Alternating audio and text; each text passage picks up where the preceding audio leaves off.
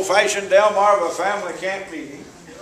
Second full week of July every year. We're thankful for the Zugs and the great help they are to the meeting. And we have a motto right on the bottom here. If you like it hot, you'll like it here. Yeah. Amen. You can take that any way you want to take it. Temperature-wise, heat-wise, weather-wise, or preaching-wise. And uh, we want you to pray for that meeting also. Uh, we have uh, planned this meeting for this year. We have about 30 preachers. It's the most preaching, it's the most singing, it's the longest duration of any of the camp meetings, a, a full week. And then pray for the Pennsylvania camp meeting. We're a part of that. And also the uh, Ohio uh, camp meeting. I speak on uh, Monday nights of uh, that meeting. And also there's a new camp meeting we're participating in this year right near the Indiana Illinois line near Danville, Illinois, mm. as well as the revival meetings. And so when the Lord said, go preach, that's exactly what he meant. Amen. Thank the Lord. Brother, if you'll just fold that up a little bit and, All right. and give that back to Ghana Louise, and I'll forget it uh, if you uh, don't. Well, the Lord is on his throne, isn't he, folks? Amen. Is this my water? Brother? That's yours. That's, that's right. All right, I wouldn't want to get in the wrong water. I'm liable to break out singing. and you wouldn't like you wouldn't like what you heard if you heard me uh, breaking out uh, singing. Why, it's exciting out here on the evangelistic trail. It's exciting to be a Christian. Amen. It's wonderful to serve the Lord. When I saw that uh, map there of the world, going around Africa, India, Asia, I thought, you know, in spite of everything, I'm thankful when it came across the United States of America. I'm glad that's where I live. Amen. I'm thankful for this country. I'm thankful for other countries. I'm thankful for the ones that will go to other countries and preach and evangelize. But who would ever have thought that America would have played such a great part in uh, the evangelization of the world? You know, we're in the line of Abraham and the prophets. It's the New Testament church. It's the New Testament church. The New Testament church is where it's at in the line of Abraham, the seed of Abraham, the seed of David. And from America, that great restoration movement was born, and the gospel was sent and fanned out across the world in a world of Romanism, Islamism, and Buddhism, and every other kind of ism. We're just ism to death in this world. What we need is Christism. Well, it's not Christism, it's just Christ and New Testament Christianity is what we need. And all the people said, Amen. All right. Bless your hearts. I was invited this uh, past year to speak for a seniors rally in uh, Zanesville, Ohio. I was called and invited to go up there and preach, and I knew what I was going to preach. I knew I was going to preach the Word, but I didn't know exactly how I wanted to come at it. And I was talking to a friend, and I said, you know, I'm preaching there for that seniors rally at Zanesville, seniors of a large part of the state of Ohio. I'm just trying to figure out what to preach. Well, uh, Kenny, guess what they said I should preach? They said preach the gospel. I thought, well, nothing better could be preached than simply to preach the gospel. And tonight, for a few minutes, I want you to share with me, and we're going to Revelation uh, chapter 14 and begin reading with uh, verse 1 and deal with the subject of the gospel of Christ. I'm thankful for the gospel. I'm thankful for the good news of the gospel of the Lord Jesus Christ. That's what it's all about. Why buildings and all of this stuff is just window dressing. It's the gospel. It's what Kenny was talking about a while ago. We can have equipment and we can have this and we can have that. We can have chairs, we can have pews, we can have carpets, but all of that really is nothing. It's Christ. Christ is everything in the kingdom and the word and preaching of the gospel. And we need to concentrate on what we would have to take into a cave. If a time of persecution came, we could go in there with a Bible and we could go in there with our voices and we could praise God. We could take the Lord's Supper in there. We could do without a lot of this stuff. I believe we're getting stuff to death today. And we need more emphasis on Christ and the gospel than stuff. And I want to say, praise God. It's good we have a lot of this good stuff. We can use it for the glory of God. But we need to realize that the primary thing is the gospel of our Lord Jesus Christ. The main thing is the main thing. And the main thing is Christ and His gospel. Amen. Want to deal with the subject of the gospel of Christ. Let's read from Revelation chapter 14, beginning with verse 1. The Bible says, And I looked, and lo, a lamb stood on the Mount Zion. Of course, that would be Jesus. And with him 144,000 having their father's name written in their foreheads. We've read in the Bible where that 144,000 represented saved from the 12 tribes of Israel. 12 tribes, 12,000 from each tribe. And I heard a voice from heaven as the voice of many waters and as the voice of a great thunder. And I heard the voice of harpers harping with their harps. God loves music. God loves music. Harping with their harps. And they sung as it were a new song before the throne and before the four beasts, some translate that creatures, and the elders, and no man could learn that song but the 144,000 which were redeemed from the earth. God has a special blessing just for the redeemed, just for the redeemed. Guess who's going to heaven? The redeemed. The ones that are saved are the redeemed ones, are the blessed ones, and the Lord is coming back after them and only them. The Bible says, These are they which were not defiled with women, for they are virgins. These are they which follow the Lamb wherever he goes. These were redeemed from among men, being the first fruits unto God and to the Lamb. This is the verse 5. And in their mouth was found no guile, for they were without fault before the throne of God. And I saw another angel fly in the midst of heaven, having the everlasting gospel to preach to every nation and kindred and tongue and people saying with a loud voice, Fear God, give glory to Him, for the hour of His judgment is come, and worship Him that made heaven and earth and sea and the fountains of water. Look at verse 6 again. And I saw another angel fly in the midst of heaven, having the everlasting gospel. The everlasting gospel. No end to it. The everlasting gospel. The effects of the gospel are everlasting. When you give your life to Christ and obey the gospel, the effects of that decision will last forever if you're faithful. The Bible says, Be thou faithful unto death. And that angel had the everlasting gospel to preach unto them that dwell on the earth, to every nation and kindred and tongue and people. When it comes to the gospel and the preaching of the gospel, my mind goes back to the early part of the New Testament, back to the book of Mark. Uh, chapter 16, verses 15 and 16. These are verses that you have been quoted and been quoting for many, many, many years. And as we preach the gospel, as we preach the gospel, Randy, we preach it because Jesus said so. That's enough. Jesus said it, that settles it. No back talk to Jesus. We don't back talk to God. When God tells us something, we don't back talk Him. When we are told what to do, we're supposed to do it. How many of you had parents that did not allow any back talking? Well, we not only were not allowed to back talk, we were not allowed to look like we were thinking about back talking, or we'd be out the back door. I'm telling you the truth. And my friends, you don't back talk God. You don't second talk God. If God tells you what to do to be saved, you don't back talk Him. If He tells you how to be baptized, you don't talk back to God and ask God. If He tells you how to observe the Lord's Supper on the Lord's Day every first day of the week, you don't make excuses and talk back to God. And so when Jesus said, preach the gospel, that's what He meant. That's what is to be done, and that settles the whole thing. The argument is settled before it ever gets started. Right. In Mark 16, 15 and 16, here's what Jesus said to his disciples. We mentioned this this morning. This is unbelievable. Here were men that were homeboys, had barely been out of town, and the Lord was going to send them across continental borders around the world. He was going to send these boys that were homeboys that had not been out of town hardly, going to send them to the far reaches of the earth, and they were going to give their lives for the cause of Christ. All but one of, but one of them died the death of a martyr. Well, before his ascension, before we get into what it says in Acts 1, in Mark 16, 15, Jesus said, Go ye into all the world. Are you sending us into all the world? Here's what it says Go ye into all the world. Go ye into all the world. He said, Go ye into all the world and preach the gospel to every creature. He didn't say, Go ye into all the world and preach the doctrine of your choice. He didn't say, Go into all the world and preach the church of your choice. He didn't say, Go into all the world and preach whatever feels good in your heart to preach because everybody's going to be eventually saved. He was very specific. He was very exclusive. He said, Go into all the world, and he told them what to do preach the gospel. That wasn't the gospel of your choice, but the one gospel. The one gospel of the death, burial, and resurrection of Jesus found here on the pages of the Word of God. Go ye into all the world and preach the gospel to every creature.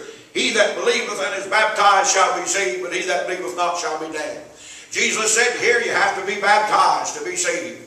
Jesus said, Here you have to believe to be saved. He that believeth and is baptized shall be saved, but he said, Go into all the world and preach the gospel. And when it comes to the gospel of Christ, we preach it simply because Jesus said so. I remember a man by the name of M.S. Kitchen back in the 1950s visited the Ocean View Church of Christ, my home church. I was just a, a young boy on a tractor seat, and I could uh, drive an 8N Ford with my eyes closed, work the hydraulic and hook up the three-point hitch and everything. Dad had uh, taught me how, I, he put me on a log wagon when I was about five or six years of age to drive a pair of mules. I remember I drove a log wagon down to Fenwick Island. When I got there, pulled off the road, one of the wheels fell off. But back there, when you were five, six, or seven years of age, you did something besides pick out toys in uh, Walmart. And I believe a lot of these kids, instead of giving them toys, we ought to teach them how to use a hoe or an axe or a rake or a pair of pitchforks. I heard one time there was a girl getting ready to go out on a date, and she was another generation, and her dad looked at her and said, Honey, you are a saint. Look at those uh, jeans you got on. They got holes all in them. Well, Dad, that's the way they do it today. Look at those shoes. They've got holes in the toes. Well, that's, that's the way they do it, his daughter said. He said, you look a sight. You can't go out like that. Your hair looks like a mop. She said, what's a mop? And I think that is one of the problems. Today, people just don't know some of the basic things, but here it's exciting to hear Jesus say, preach the gospel, but M.S. Kitchen came to my home church and uh, he challenged this boy to come off of a tractor seat and go get ready to preach the gospel. My, I already had a 41 acre farm. My grandfather bought it for me and bought me a new tractor and, and plows, discs, and cultivators. And uh, I was paying on the tractor and he, I still owed him for the farm. It only cost $1,550. Cost a fortune today. But he said, you can just go ahead and pay me, but pay for the tractor first. And I thought I had it made in the shade with lemonade. I was going to be a farmer. I had a new Massey Harris twin uh, cylinder with a red seal Continental engine in it. Uh, Massey Harris. My, it was a beautiful brand new tractor. And I thought, my, the world's, I've got the world by the tail. But I'm telling you, that man came to our home church and said, we need boys to preach the gospel. And it touched me. It hit me in the heart. And I went and I made the decision to go preach the gospel. Why? Because Jesus said so. Not because M.S. Kitchen said so, but because M.S. Kitchen said, Jesus said, go preach the gospel, and we need preachers to preach the gospel here in the East, and we need preachers to preach the gospel around the world. And so Jesus said, go preach the gospel, and when we come to the gospel of Christ, we preach it because Jesus uh, said so. Then I found another verse about the gospel over in the book of Romans, uh, chapter 1 and verse 16. We preach the gospel, number one, not only because Jesus said so, but we're to preach it unashamed, unashamedly. We're not to be ashamed of the gospel. You know, there's people that are starting to be ashamed of the gospel. They're starting to be ashamed of the Church of Christ. They're starting to be ashamed of the Christian church. They're starting to be ashamed of the Lord's Supper of the Lord's Day. Ashamed to tell somebody that they have to be baptized to be saved. Ashamed to tell somebody there's only one church. They say, you claim you're the only one saved. Absolutely not. On the radio program, when I tell them there's one way, one Lord, one faith, and one baptism, I'm, I tell them, I'm not asking you to come to me. Because if you came to me, you wouldn't be any better off. What I'm saying is let's all of us just get rid of all of these isms and denominationalism, Protestantism, Romanism, every other kind of ism, and let's take the Bible only, go back to, and let's unite together and restore the one church, the one body. Let's just be Christians only, having no headquarters but heaven. Amen. No book but the Bible. And no name but the divine. Amen. Shake hands with somebody homelier than Brother Randy here while I get a drink of this food. Brother, did you put your foot in your mouth, Brother Randy? I was uh, in Ohio several years ago at a revival meeting. Forgot the exact name of the church uh, right now. But I pulled that one. There was a man and his wife uh, sitting right down here. They hadn't been married long. He'd lost his wife. And a year or two later, he found another fine lady, Christian lady, and they got married. And uh, Tom Postal was his name. And I was in a big way wanting a nice laugh from the congregation to kind of limber up the congregation. I said, uh, shake hands now as I get a drink of water. Shake hands with somebody uglier than Tom Postal. His wife came up and shook hands with me. So, so sometimes you put your foot in uh, your mouth. But the Apostle Paul said, In Romans chapter 1 and verse 16, he said, For I am not what? Ashamed. Say that. I am not. Let's say it again. Ashamed. I am not ashamed of the gospel of Christ. He wasn't ashamed of the one church, the one faith, the one baptism, the one everything else. He wasn't ashamed of God's way, which is the only way. Jesus is not a way, He's the way. He's not a hope, He's the hope. He's not a Savior, He's the Savior. He's not one of many, multiple choice. He's the one and only. There's no salvation. There's none other name under heaven given among men whereby we must be saved. Acts chapter 4. Amen. And verse 12. Number 3. There's an additional passage in 1 Corinthians chapter 9 and verse 16. The gospel of Christ is to be preached with absolute necessity. I have a New Testament home that's called New Testament in 26 translations. And I love to examine these alternate uh, translations. And in this passage, I want to read it first and then share some of these alternate translations. In 1 Corinthians chapter 9, verse 16. Paul said, Though I preach the gospel, I have nothing to glory of. He said, I don't have any right to brag about preaching the gospel. It's my duty. One translation says there's no need of boasting. Another one says no cause of pride. CEV translation says there's no brag to it. Uh, another translation, Young's Literal Translation, says there's no glorying to it. And so Paul didn't have anything to brag about. It was a privilege. It was a responsibility. He didn't deserve a gold star. He'll get a gold star someday, but it was his duty, his responsibility. Listen to this. In 1 Corinthians 9.16, For though I preach the gospel, I have nothing to glory of, for necessity is laid upon me. Yea, woe is me if I preach not the gospel. You know what one translation says? I'm doomed he says, I'm doomed. Paul says, I am doomed if I preach not the gospel. I'm a dead man. I'm gone. I'm, I'm lost in hell if I preach not the gospel. I've been called. And the Bible teaches when you put your hand to the plow, you can't look back. How many of you had anybody that's hated you for 50 years? All right. I had one in my own family. I didn't realize that they hated me. When I went through the mountains up near Boone, North Carolina, I would call them. I thought they loved me. The man loved me. He's my cousin. But I found out his wife had something against me, and she hated me for it for about 50 years. I just found out about it just two or three years ago. It just was devastating. I prayed for her since then, here's why she hated me. She took the telephone one time I called, and when she took the telephone from her husband, I heard my first cousin, her husband, say in the background, Now be nice. He knew that something was coming, that she was going to blow me out of the water. And she called me names and told me things. It's a sight what she said. I couldn't believe it. Well, I loved her, and I loved her husband, I loved the family. And after 50 years, still carrying that grudge, she said, Do you know what you told my husband when he decided he was going to leave Bible college and go back home? Well, her husband had made a decision to preach the gospel. I'd forgotten this. But she reminded me of it, and I was glad that I said what I did say, although I should have said it to her. And you'll see what I mean in just a moment. He was going to go back home and give up and do some other job. And for some reason, I had read the verse where it says, If a man puts his hand to the plow and looks back, he's not fit for the kingdom of God. How many of you have read that passage of Scripture? Have you read that passage of Scripture? If you put your hand to the plow and look back, you're not fit for the kingdom of God.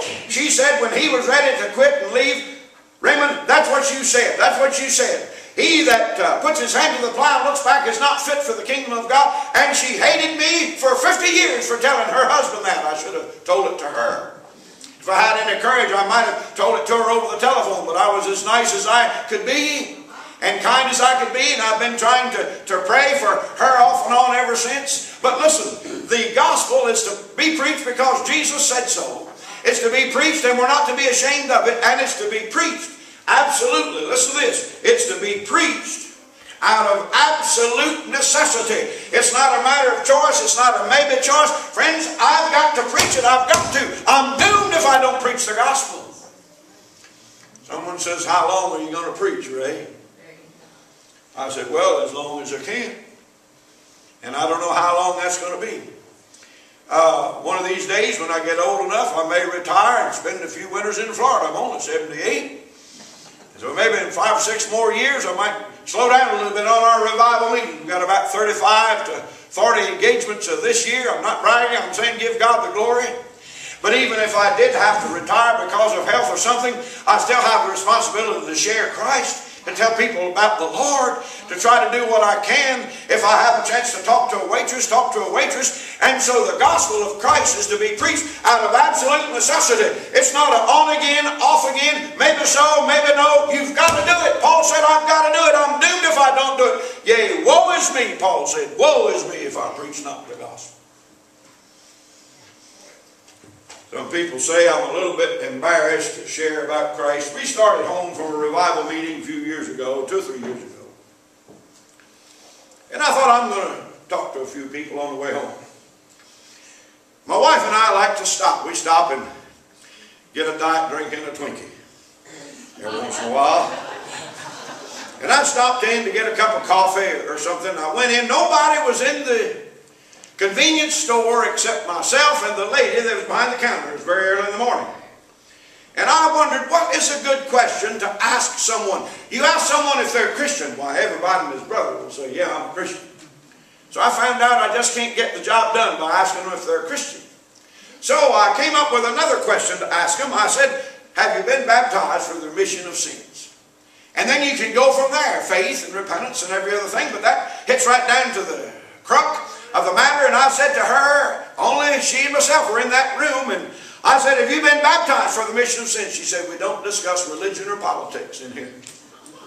Well, I was very nice, went on, paid my bill, went on down the road, asked another person if they'd been baptized for the mission of sins. They said, no, I'm a Catholic. Went on down the road and in Grantsville, Maryland, asked another one. I said to a young lady, there was an older lady standing there, I said, have you been baptized for the mission of your sins? She said, I don't have the least idea. And then we went across the Chesapeake Bay Bridge, stopped at a fine seafood restaurant there, looking out over the water and the boats, and uh, we hadn't made up our minds what we wanted. At least I hadn't. There was a girl about 18 or 20 that was waiting on us, and she finally came back to the table. Well, I was all fired up being with people like you, people that love the Lord, people that love revival, and uh, she said, she said, have you decided? Well, I couldn't help myself. I said, yes. I've decided to follow Jesus. My, you could have bought her with two biscuits. I'm telling you, it's a wonderful thing to share about Jesus. You got to love Him. And I'm ashamed of myself I don't tell more people, but you got to tell people about Jesus. Not only is it a good idea, we must. We've been saved to save others. We've been saved to serve. We've got to figure out some kind of way, if it's nothing but a tract or a pamphlet, some kind of way to share the gospel because Jesus said so, unashamed and also out of absolute necessity.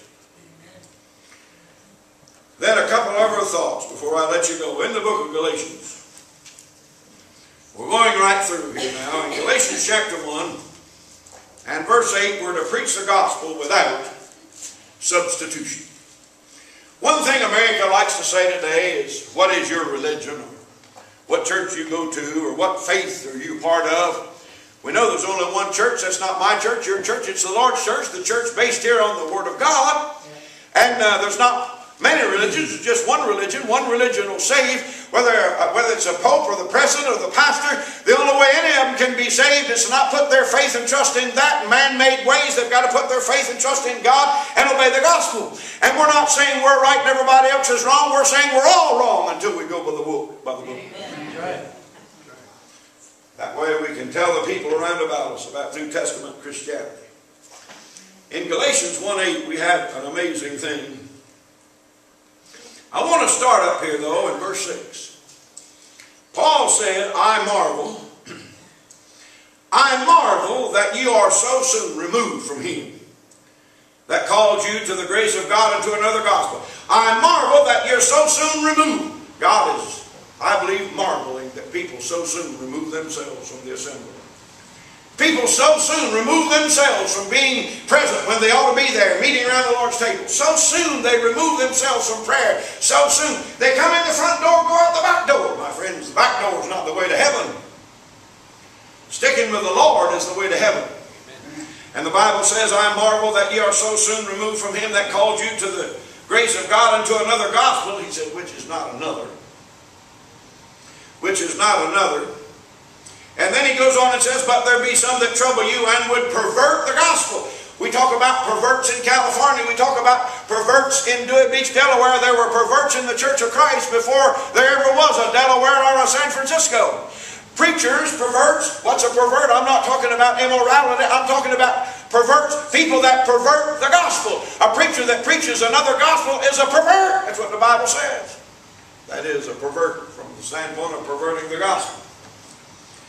Then the Bible says, I marvel that you're so soon removed from him then verse 7, which is not another gospel, but there be some that trouble you who would pervert the gospel. Kenny, if someone perverts the gospel, they're a pervert, aren't they? And so sometimes you don't have to look all the way to San Francisco to find them, do you? We need to think about it right here. We talk about San Francisco, we talk about Dewey Beach. Let me share something with you. I was reading in the Bible where the Lord went to the cities around about Palestine. And he went to the city of Capernaum and he preached to them and they rejected his message. He said it'll be more tolerable for Sodom and Gomorrah on the judgment day than for you. It'll be more tolerable for the homosexuals and the lesbians on the day of judgment than for you because you've heard the gospel and you've not accepted it. So sometimes when we're pointing out there, we need to point in here and cast the beam out of our own eyes in order that we might be saved. You know, the Bible says such were some of you. How many of you read that passage in Corinthians? The Lord Jesus Christ talked about through Paul the ones that were saved, how that they were fornicators and adulterers and whoremongers and homosexual offenders, one translation says. You know what he says to the Corinthians? Such were some of you, but you've been washed, you've been sanctified, and the Lord can take away all sin. We're not pointing a finger, we're preaching the gospel to a lost and to a dying world. But what comes up here is almost unbelievable. Verse 8, For though we are an angel from heaven, preach any other gospel unto you than that which we have preached unto you, let him be accursed. Let me read that again. Galatians chapter 1 verse 8. Paul says, Though we are an angel from heaven, preach any other gospel unto you than that which we have preached unto you, let him be accursed. If an angel so bright you had to wear a set of sunglasses even to look at him, if an angel so bright comes into your home tonight and stands at the foot of your bed and brings another gospel other than this, let him be accursed. The Bible teaches the angels don't have any right to change it. Man doesn't have any right to change it. And I'm telling you, if the angels can't change it, the Protestant pastor and the Catholic Pope can't change it. If the angels can't change it, we can't change it. And we love everybody. We're not knocking anybody. We're just saying it's a dangerous thing to tamper with the gospel and try to change the Word of God. Amen. So here he said, if an angel from heaven preaches any other gospel unto you than what you've heard and what we've preached to you, let him be accursed. And then he repeats it. How many of you ever saw a ghost? or talked to someone that believed in ghosts. We had a revival meeting down near Bluefield, West Virginia. Joe was just, oh, about so tall. And the preacher and his wife were like Jonathan and myself. It was just a little bit odd. And she claimed there was a spirit in that house that went around opening and closing doors. Well, when you got a little son there about so tall, and the people where he's going to sleep that night talk about a spirit running around there opening and closing doors, his eyes get a little bigger every time he hears it. And uh, they said, yeah, that, that's a friendly spirit, though. It's a friendly spirit. Well, I didn't know about having some kind of a spirit wandering around in my bedroom. I had a seven-shot, 25 Colt automatic that I kept under my pillow. But how do you shoot seven holes in a spirit? You just couldn't do it. And so we took it with a grain of salt. Joe came up from the basement where they'd put him, had to sleep with us. I guess he got thinking about that spirit. But friends, if a spirit, any kind of a spirit, any kind of an angel, any kind of a celestial being, any being from above or below or in between comes and preaches any other thing, let him be accursed. I read where the Bible not only says our God is a jealous God, but I read where it says Brother Randy, our God's name is jealous. God doesn't like to be two-timed. He doesn't like for His Son to come down here and die on the cross and people get over here and try to change this, change that, and change the other. It's been sealed, set, sealed with the blood of Christ. Christ died, was buried, and arose again, and the angels can't change it. If they can't change it, Ray Bennett can. And I don't want to. I'm satisfied with it the way it is. We're going to close out here tonight. Ken, as we get ready here to sing our invitation. There's one more passage in closing I want to uh, share with you. Over here in uh, 2 Thessalonians, chapter 1 and verse 10. We have something to add to our list. Number one, we preach the gospel because Jesus uh, said so. Number two, we preach the gospel out of absolute necessity. We preach the gospel unashamed. We preach the gospel without substitution.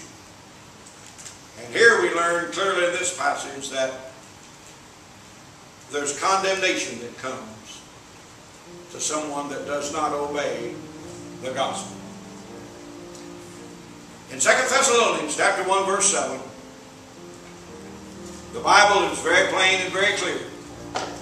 And to you who are troubled, rest with us.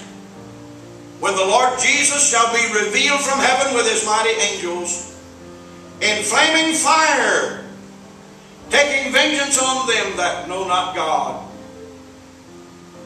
and obey not the gospel of our Lord Jesus Christ, who shall be punished with everlasting destruction from the presence of the Lord and from the glory of his power, when he shall come to be glorified in his saints and to be admired of all them that believe, because our testimony among you was believed in that day.